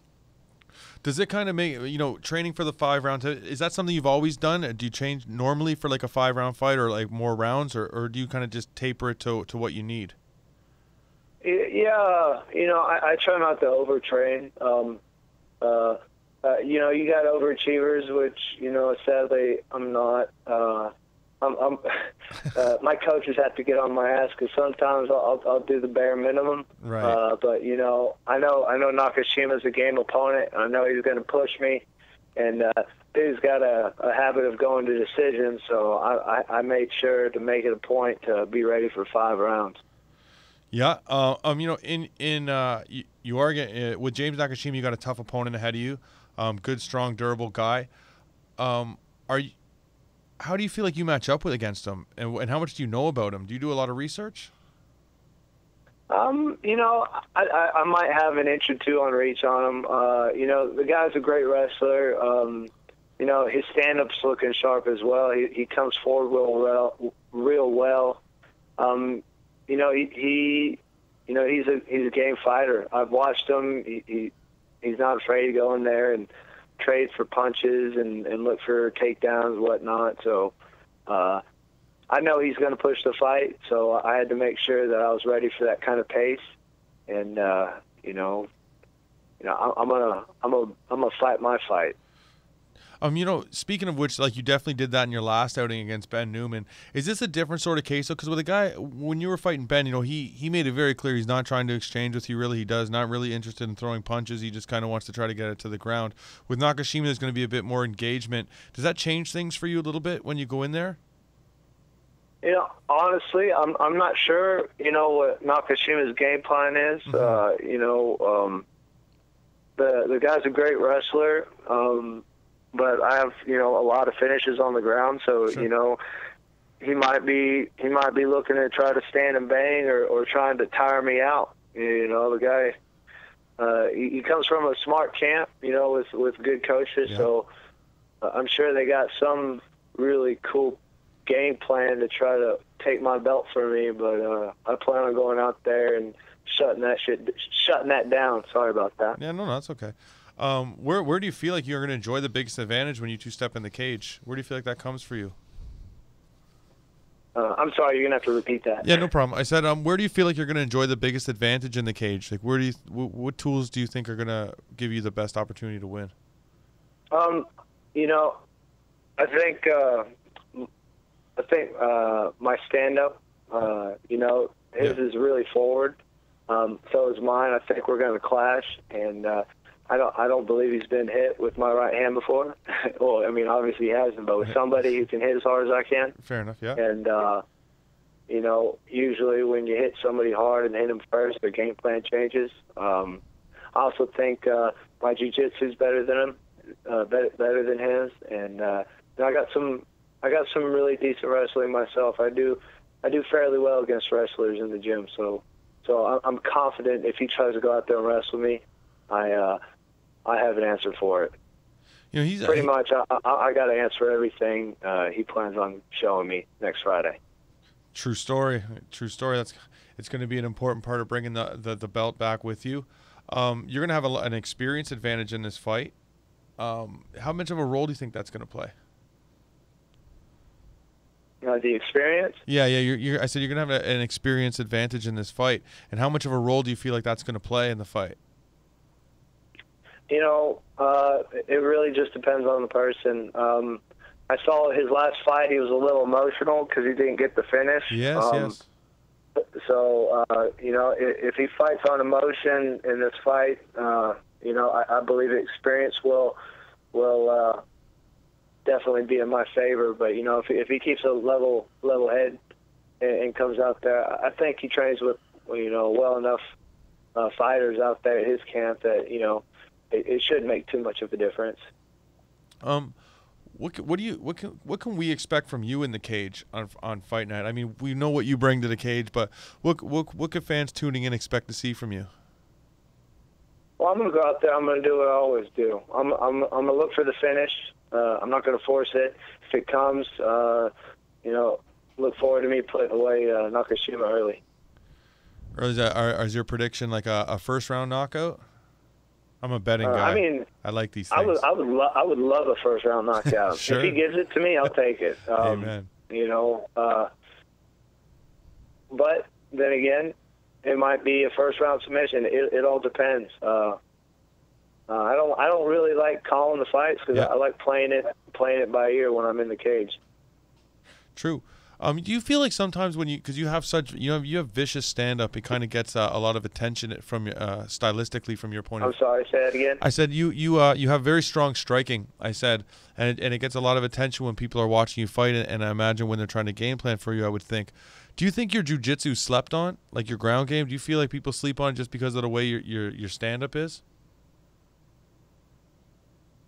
Uh, are you comparing my ground and stand up? I'm sorry, yeah, yeah. No, no, no. I'm just what I'm saying is um your stand up. your stand up gets a lot of attention because it's vicious. You come in, you're throwing big shots, power shots. Do you think people sleep on your ground game because uh, of kind of prepping for your stand up and trying to deal with that?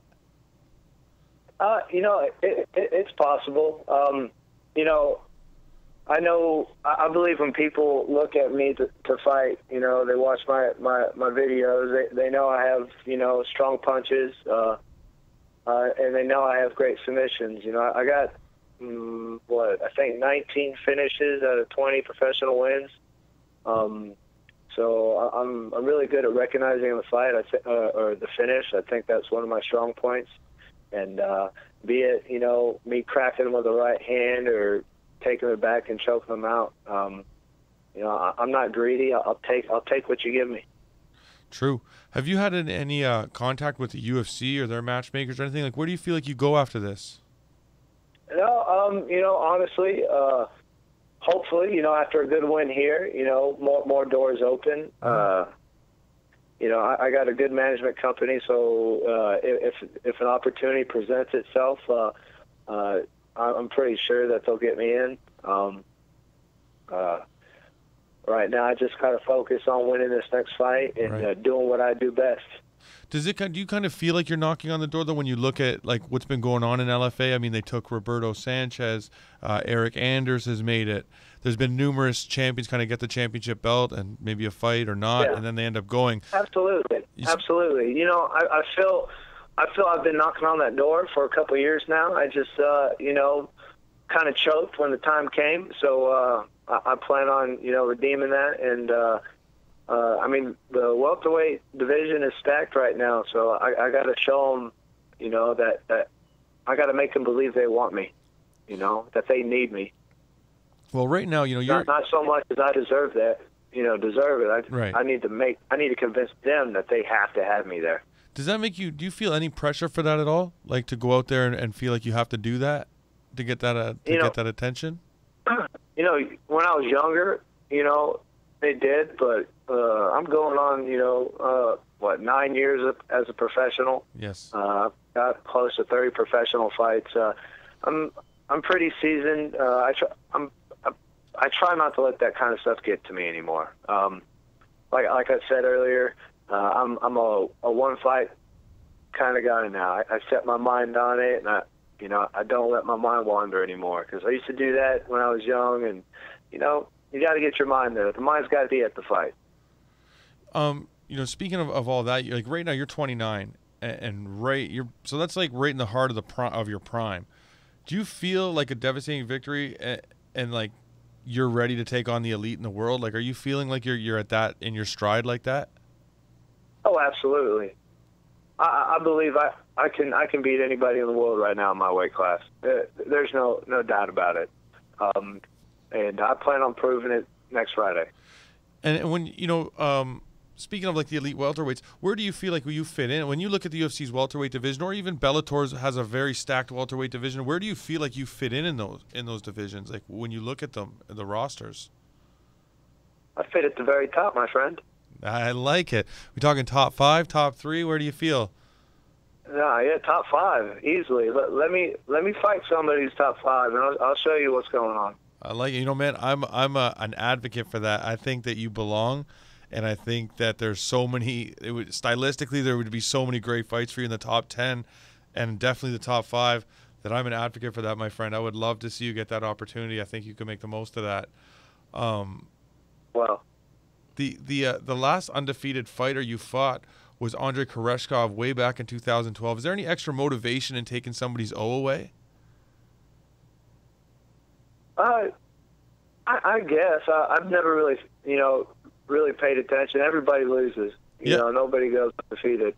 Um, you know, I, I learned that when I went eight and zero as a professional, and uh, got lazy and overconfident and lost my first fight. I mean, it, it happens. You know, everybody's going to have a bad day. You know, it, it, that's just the way of the uh, the fight game. Um, man, I'll tell you what. I plan on uh, I plan on giving Nakashima his first loss and first finish. I like it, man, and I hope know to what I see mean? that. Definitely, definitely. You got a lot to protect too, man. He's protecting an O, but you're protecting that LFA belt, so you both have a, a lot on the line. So it's uh, it's gonna make it a good one. I feel like. Um, yeah, I'm, I'm stoked, man. I'm, I'm ready for this fight. yeah, I'm excited to watch it. Uh, listen, I really want to thank you for giving us some of your time. Actually, you know what? I want to know what are you eating after the fight, man? Because I know you like a pizza Whataburger thing. What do we do? Maybe both.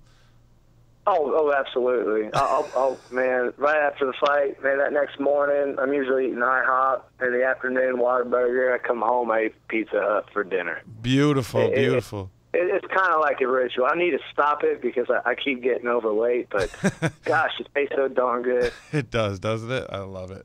I love all those things. I got to get to the states to try this Whataburger. We talked about that last time. I haven't had the opportunity yet, but everyone raves about it, so I got to make it down there and give that a shot. I'm telling you. Yeah, well, you know, I, I, it, it's it's it's my it's my burger joint for sure. I came from uh, the West Coast, so so I grew up on In and Out and Carl's Jr. and you know White Castle and all that. Yeah. And I thought it was all gravy until I came to Texas and had me a triple triple from Whataburger. That's what I'm talking Blew about. my mind. awesome. Listen, Derrick, man, I really want to thank you for giving us some of your time. I really appreciate it. Uh, I look forward to your to your fight, and I wish you all the luck in defending your title, my friend.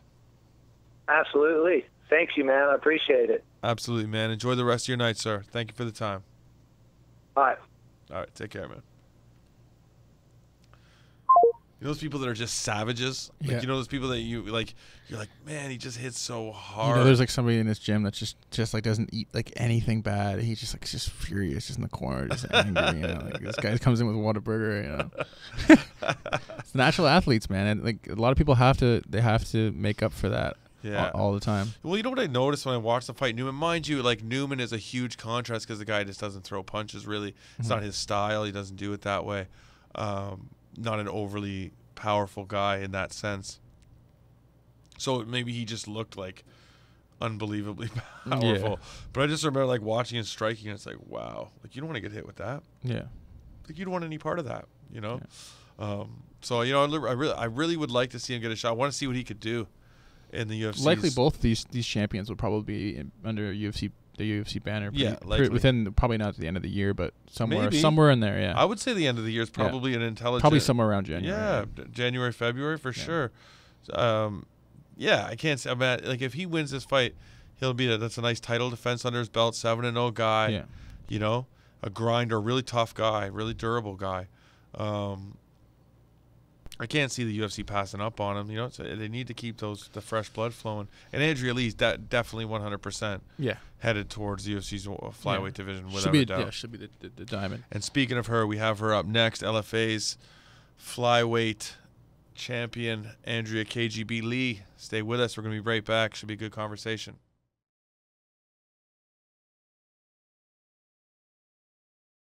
What's up, Fight House fans? We're back with LFA flyweight champion Andrea Lee, who's getting ready to defend her belt against Jamie Thornton at LFA 23 on September 23rd. What's going on, Andrea? How are you? How's everything? I'm great. Fan. Everything's good. How's training been for how's prep? Training's been really good. It's been, uh, you know, we've been grinding every day, and I'm just excited. You know, we're getting down to the last couple of days, and the fun part is uh, nearly here. yeah, and you know, you're a super active fighter, so you must be itching to get back in there because I know your last fight was canceled, so you kind of got put back a little bit. So uh, are you are you itching? You got the itch to get back in there now? oh yeah, I, w- I mean, I had the itch then. I was upset that my fight fell through. I mean, I was the main event in Dallas, Yes. and I was very sad. I missed out on a bit of money, so. Yes, I imagine that you did. Could you get to? Could I get you to pull the? I can't only see half your face. I'm seeing. There you are. There she is. Everyone sees the cat. uh, perfect. Sorry. Perfect. No, no worries at all. Thank you very much. Um, uh, you got an upcoming fight now. You got Jamie Thornton. She's she's been put up there. I know you had a fight canceled, and you were supposed to have somebody else, um, but Jamie took the fight, so that's good. Um, what do you know about her, and how do you feel about the the, the matchup? I feel good about the matchup. I know she has fought at a lower weight class, and you know she's just willing to get in there and, and fight anyone. She's tough. She's had four finishes. She's four and two. She's had four finishes, Mhm. and um, I, I think two a, a few by um, way of guillotine and one by strike or two by strikes. I'm not I'm not completely sure, but so she's got like TKOs and uh, sub finishes. So you know, Um, obviously, you know you're gonna have um, you're gonna you're gonna want to keep the fight standing. We know we know where you what, what your plan is. I, I need your face again. Andrew. I'm getting half your face. Oh, there you are. Are you talking about my hat or my face? right? No, no, I got it all now. We're good. We're good. Before I just had your nose down. Um, Really? That's so weird. Hold on. Maybe I need to swap. there, we're good. We're good. Okay. Okay, we're good. um, We're good. So her, you know, in her last fight, she went out against Sabina Mazo. She got knocked out. It was a pretty devastating knockout. It went viral. But that's got. How does that make you feel? Because you have a striking style too. Did, does it kind of show you that they that's there for you and that'll be available at some point? Like, what did you take from that fight? Um, w- with her fight, you know, between her and Mazo, um, I saw that she she's a lot slower than I am, and Mazo's even slower than me. So you know, I felt like, you know, you could have seen that kick coming from a mile away, and um, at least had plenty of time to block. But you know, she she dropped her hands a lot, so that's that's why she got caught. If she had have had her hands up, you know, she wouldn't have gotten knocked out like that. So I'm sure that she's probably got her gonna have her hands up this time. I, Um, I imagine she would. but I, you know, I, I want to. I would like to keep it standing. I mean, I feel comfort comfortable anywhere it goes. So You've actually looked super. Your jiu-jitsu's been super impressive the last couple of outings that you've ended up on the mat and you've able to been pretty dominant down there. Um, has it continued to progress in that way? Like, how are you feeling about your ground game these days? I feel great about it. Um, I feel like I have a pretty solid ground game. My wrestling's good. My jujitsu's good, and I, you know, I have a lot of great training partners. Um, so I feel good about it. Um, you know, I've seen on your social media. I was combing through it, see what was going on. Um, you, you when you were advertising for uh, sponsors and, and things, you were saying this could very likely be my last fight. You know, uh, with LFA and on the on the regional scene as well. Um, do you feel like the call is coming after this fight? Like, it, it, do you feel I, like this is I going do to be? feel like the call is coming soon, but I just meant like this is gonna probably be my, my last fight in my hometown because I'm fighting in Shreveport, Right, right. locally. So I, just that you know, it it's always like six months between fights that I ever get, or a year even, you know, before I get Mm-hmm. to fight on on my home homeland. So I just was telling everybody, you know, this is probably going to be the last time for a very long time, you know, that I'm going to be able to fight in Shreveport. I am scheduled to fight for Invicta, but for on one of their next cards. Right. Um, and after that, we'll see what happens. Um, there's been a lot of exciting stuff happening. In, like we've seen some fighters talk about going down to 25. When you start to hear some of these big names going down to 25 and, and the division starting to take fold, how excited do you get at some of these potential matchups out there that you, you're seeing? I, I mean, I get really excited because, you know, I, mean, I want to fight the best in the world. Yeah. And I've I've known that a lot of the 135ers were natural 125ers. Uh-huh. That you know most of them are just at 135 because it's the only way that they could be in the UFC. And I understand that, but I'm just more willing to stay at my, my weight class than than move up and and risk losing to someone that I shouldn't be losing to. You know, That's I shouldn't. very true. Very true. Um, you by anyone's standards, you you've got to be considered one of the best 125ers in the world. I can't imagine anyone that doesn't have you on that list.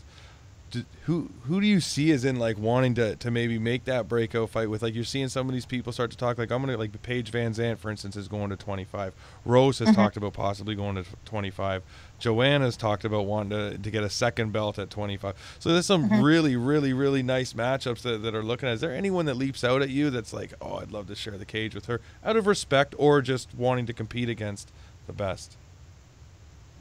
Well, Joanna, of course. yes that'd be great uh, I think that would be exciting. I mean, she's very quick. You know, she's got very, very fast hands. Um, I know her, her hands are definitely faster than mine, but I just feel like we would still be. We, I think that it would be stylistically, you know, a great matchup. I mean, I've got head movement. Most of the girls don't even have a head movement. They keep their head on a on a flagpole, and of course, she's going to be able to bing them up. You know, right I mean, you leave your, your, your head there and somebody on her level with the hands that she has. I mean, mm-hmm. you know, of, of course you're gonna get you're gonna get eaten up. But I, I feel like it, it- as long as that you know I have good head movement and my striking is is pretty elite. I think. I think that it would be a fun match. Do you have you seen anything in her fights that you've watched that have made you believe like you know I could this this is a completely winnable fight for me? Like have you seen things where you've been like there's there's holes there? Um, not that Well, I mean, I don't think that she has like a whole lot of Mhm. holes, but I No. mean, you've never really seen her on the ground. True. But I mean, she's got a very good takedown defense. So I just think that you know, I think that her and I would just have fun standing up. Yeah, that would be that'd be a great fight. I, I would I would uh, I would love to see that one go down. Um, I, I was watching the MMA Hour. I seen that you were on there Monday, and congratulations, by the way, great interview. Um, Thank you. yeah, and uh, I, you were talking about a back injury uh, a Mhm. little bit. How's that? How's everything with this? my my back seems to have gotten like a lot better. Right. Um, I had some injections a while back. I don't know if that's helped my back or just me, you know, having my fights fall through. Maybe that's helped I guess. because I've been able to relax and just take some time off and give it some time to heal. Um, So- does it affect? Because uh, what's the weight cut like for you? Like, does it affect your cardio, your ability to run, anything like that? Like, how's the weight? How does it uh, alter the weight cut at all? Well, I while my back was hurting, well, I mean, it still it still gives me a little trouble, but it's not it's not like what it was. I mean, it was um, it, like I was struggling running there for a while, but I mean, I still pushed through it because I needed the cardio. But I, I just switched to treadmill and stopped running on concrete, and the treadmill seemed to help uh, a lot, you know, Mhm. and also stationary bike. So. Yeah, bikes are huge. They take a lot of the impact. hmm So that's good stuff. Um, that's good. I'm glad to I'm glad to hear you're going to be on point and everything's going well. And you had been complaining about the back issues. I remember you were talking about it at the Liz Taylor fight after the fight, right? You were saying like I was having these issues. Yes, Yeah. yeah, and um, I mean, it, it it happened back in September of last year, and I just I, ignored it and I continued lifting really heavy and doing squats and deadlifts and all that. Like I I uh, ended up. You know, I was training and I got swept and like my legs, my t- upper body, and my torso went one way and my legs went the other, and like I just felt a big pop in my back and then that burn sensation Yeah. but I mean, I got back up and I continued training, and then a couple of weeks went by, and it just gradually got worse. Like I couldn't even like jump up on a couldn't jump up on the a box. I couldn't I couldn't pick weight up anymore. It was really it was hurting me. I couldn't even like sprawl. Couldn't couldn't wrestle. So it, it really screwed up my my uh, my training ability. So I had to start modifying everything. Once I went to the chiropractor, talked to him, then I went to a doctor and actually got like, uh, you know, X-rays and MRIs and all CAT scans. Finally figured out what was wrong. Sweet. Well, I'm glad you're mending and you're on your on your way. Uh, that's Mm-hmm. that's good. Definitely, obviously. Um, do you have any idea who who the in challenge may be on, with Invicta? Who I don't know yet. fight? No, you haven't heard anything. I haven't heard anything. I just know that I'm going to be on one of the next cards, and I'm just happy and excited about that. Do you have a name? Do you have somebody you'd like to fight if you could pick the fight? Mm, I would like to fight for the title. Amen. but right? I mean, that's not. I mean, I still have to like work my way up to that. I guess. Fair enough. Fair enough. I guess I like the humbleness there. That's good. um, so uh, listen, I, I want to wish you all the best in the fight. I want to thank you for giving us some of your time. I know you're super busy because the fight's getting really close. Um, thank you very much. I really appreciate it, and we're rooting for you. Ah, thank you so much. I enjoyed it. All right. Thank you. Have a great night, Andrea. Appreciate it. You, you too. Talk to y'all later. All right. Best of luck. Okay. She's gonna she's gonna do well. She's gonna be a star for sure. Like like- Yeah. yeah. Like the this division is is necessary. It's been necessary for a little while now, and uh, she's gonna be a star for Do you sure. know what I think is really good for her personally? I think that the UFC not having a flyweight division until now yeah, it's let her is good for her because she could gradually make that you know that move. Yeah. right? Like she wasn't forced because you know some people. Okay, like for a perfect example, like um Paige or Sage Northcutt, Yes. right? It's like because they were so marketable, they weren't allowed to, to take the process. Yeah. It was like, no, dude, you're in. Like you're, that's it. Yeah. You know, because the, the way the business is, right? It's like if I'm paying you X amount of dollars, you're not going on the undercard. No. Right? It's like if I'm paying you, you know, fifty grand, you're gonna fight in the fifty grand slot, and you're gonna fight against somebody fifty grand worth Exactly. Yeah. right? So they get these tough. Fight. So I was so glad that she has been able to groom herself. Like she came up, she you know she lost a couple early on, but she learned. You know the ground game really came along. The wrestling came along. Like, Yeah, any anytime you can you can relieve the pressure of like of- the the game itself, you know what I mean? Like all the things that come along with it. Yeah, for sure. Yeah, and you know they got a good thing going over there at Karate Mafia, man. They got uh, Kendrick Williams is there. The dude's a beast. He I think is I a think, I think. Paige VanZant would be a, like a solid like first matchup. You know what I mean? I think it'd be one of those ones where the odds aren't right. You know, Mhm. the odds are all messed up. It would be an interesting one. It would be an interesting one because if, Yeah. if Paige would have to grind her out, because Andrea would pick her apart. I yeah, I think. feel like Andrea's probably better everywhere. You know, Mhm. but that's not something. Paige is good, but but You know, I'd like to see her fight Jessica Eye yeah, that'd be good too. at 125. Yeah. I think that'd be a good fight, depending on what happens with Jessica, because Jessica's been around, and I think maybe, you know, she deserves uh, to fight the, you know, the vets, like the top. You know, she deserves that shot. I Yeah. think she's been around a long time. Andrea is just breaking in, you know, so she might have to have a fight or two before you get that fight. But who knows? It's, uh, it's not the thickest division, so we'll see what happens, right? Also, you know what's interesting is to find out what Mackenzie Dern's gonna do. Yeah, she hasn't fought in a while. No, she's hurt. She had knee surgery. I see. Okay. Um, but if she would now with the UFC having a 125 division, because she was only at 115 because there was that was her her only option. Yeah. So it's interesting to see what she does, and if she goes to 125, oh yeah, I never thought there would be a day when we'd be we'd be like anticipating another f- like female like weight division. You know what I'm saying? Like it's, it's Yeah. amazing. Like it, the, potential of this weight division is it's it's crazy. this is the most needed weight division of all the shit that people are talking about. Yeah. Oh, 175, 165, all this nonsense. Not nonsense. It's needed in some cases Yeah, too. yeah. But this is the There's actual this- people waiting. There's people waiting. Not yeah, yeah. the- if you think what the gap is between, you're talking about a, a third uh, or 20 pound difference Mhm. between 115 and 130. Paige VanZant was almost dying. Yeah, her parents dis- her parents said uh, that they would disown her if she if they caught her if she had to cut weight like that again. They would just disown her. That's why she's she's like, nope, I can't do that.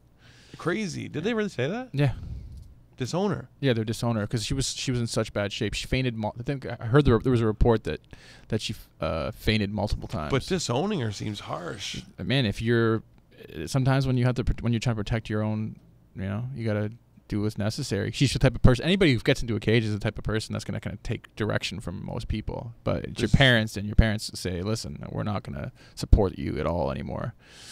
You just have to listen. You know. Yeah, well, you, you can't. But then again, like the parents have to understand, like she has no choice. That's what I'm saying. That's why it's the most needed division. Do not have a choice, you know. And then you got people like, uh, you know, fighting, uh, fighting at 135. Jessica Eye, she should not be fighting at 135. It's another reason why she should get a good, good like w- Right, you fight know what I'm she saying? she's, earned it. Yeah. She's been up there banging with big girls Mhm. just to do her thing. Yeah. So like, there's a there. There's gonna be no shortage. That's gonna be. I mark my words. That's gonna be one of the best divisions in MMA. yeah.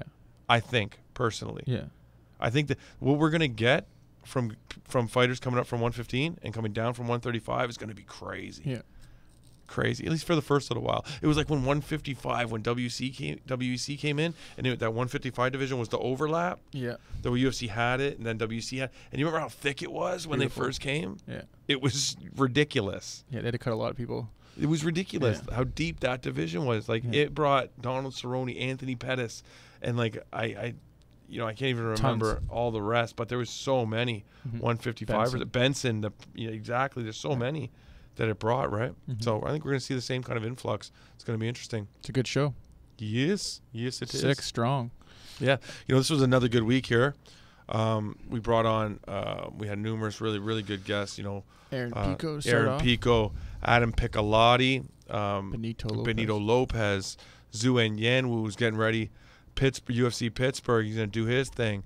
You know, uh, uh, a debut fight, and and then we close it out with the two LFA champs. You know, Derrick Krantz and Andrea Lee. So, you know, it's a great uh, show. one of the biggest LFA cards. Got to be one of the bigger ones. Yeah, yeah, it's a good one. That's Yeah. for sure. Def- two two big, two nice draws. I think. Yeah.